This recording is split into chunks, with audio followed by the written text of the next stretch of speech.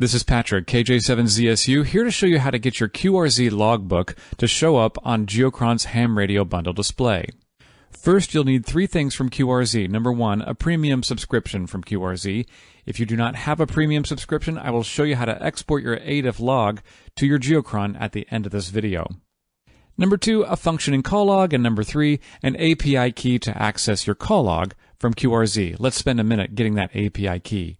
First, go to QRZ, hit your call sign, go to My Logbook, and then on settings on the far right, go down to QRZ Logbook API and Show. Then copy that API code.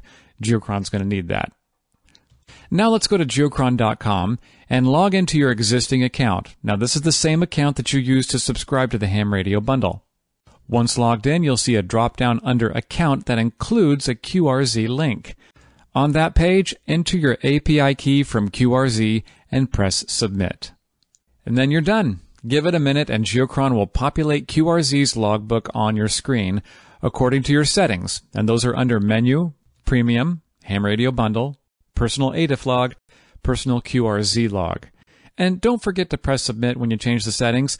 And also that only up to 1,000 contacts can be shown simultaneously as of February 2022.